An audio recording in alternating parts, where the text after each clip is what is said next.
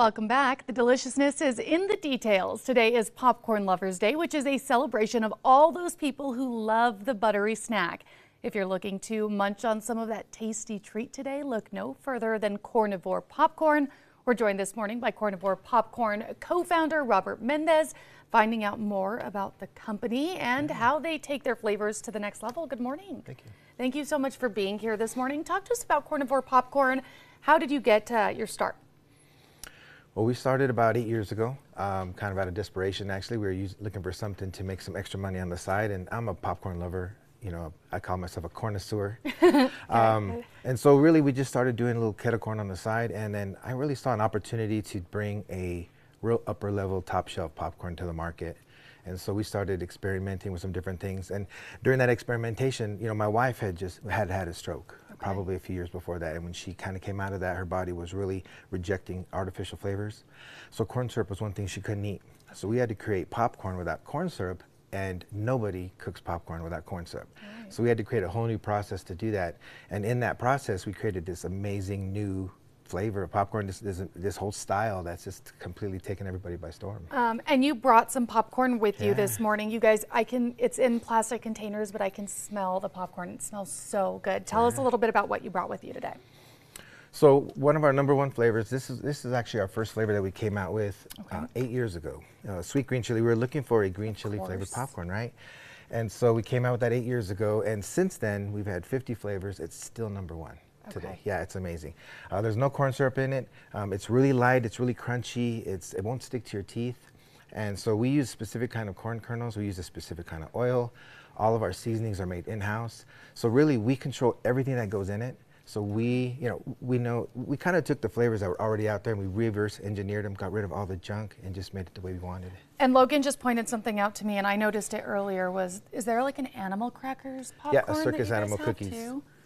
Yeah, this one right here. Okay. Our number one chocolate flavor, actually. Okay. It's a, it's a kettle corn, and what we do is we completely coat it with white chocolate, and we put the sprinkles on there, and when it when it cools off, it tastes exactly like circus Ooh. animal cookies. Perfect for an Easter basket right Absolutely. there with the pastel yeah. colors.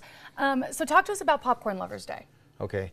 Well, popcorn has its own day. You know, mm -hmm. National Popcorn Day, January 19th. Popcorn has its own month in October, but popcorn lovers don't have their own day except for today, right? Okay. So this is a celebration of people, right? People who love popcorn, people who are just obsessed with the snack.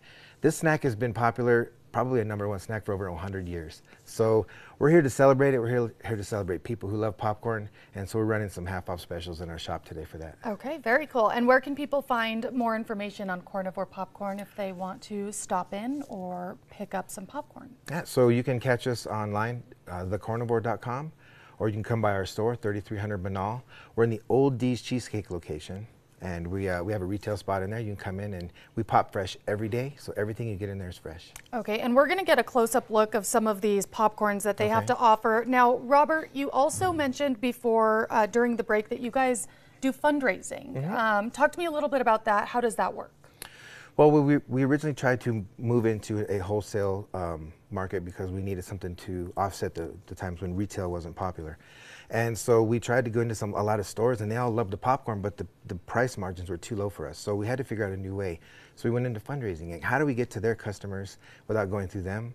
Fundraising, right? So now we split our profits with the local communities and they get our product to the people that we need to get it to. So it's an amazing program.